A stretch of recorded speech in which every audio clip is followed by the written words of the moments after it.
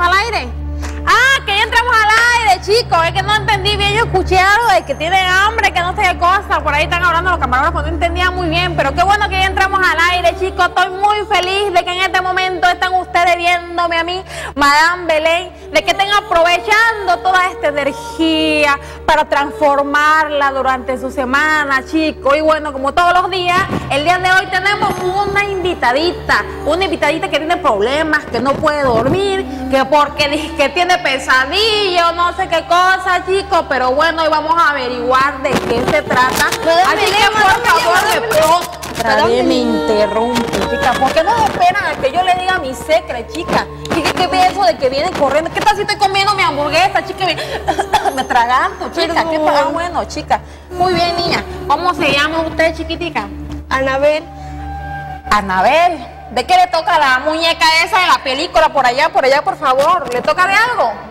Dos primas. Sos prima, bueno, chica, acérquese por acá.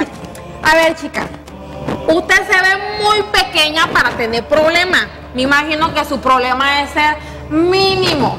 Quiero que me diga cuál es ese problemilla, esa preocupación por la que usted viene a consultar y pagar miles de pesos conmigo. Es que fíjese que, bueno, yo soy una alumna muy estudiosa. Ay, cha, cha, cha, cha, cha. Me viene usted a presumir a mí, a mámele, que porque es muy estudiosa, chica. Yo también saqué buenas calificaciones, créame. Tuve que estudiar para llegar a este lugar, chica. Muy bien. Pero bueno, buena calificación. ¿De qué más, chica? Y pues soy muy aplicada, pero ¡Qué modesta! ¡Qué modesta! Muy aplicada y muy...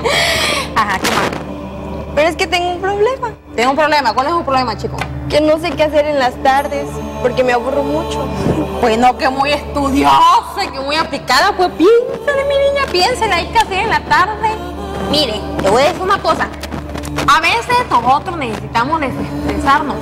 A veces en la tarde estamos nada más sentados, viendo la tele, arrancando la cabeza y no sabemos cómo sacar esa energía. Nosotros nos tenemos que dedicar a algo para sacar esa energía de manera positiva.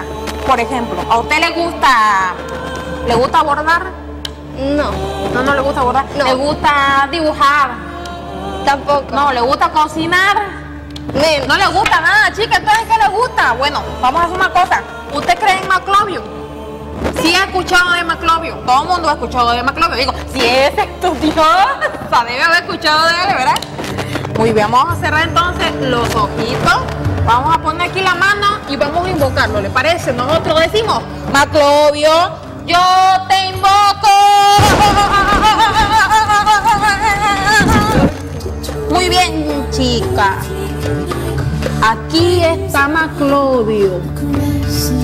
Y ahí hay hormigas también porque no ha limpiado mi bola mágica. ¿Ya lo vio? Muy bien, Maclovio me está diciendo es muy sencillo. Dice que a usted le gusta mover los huesos. ¿Eso es cierto?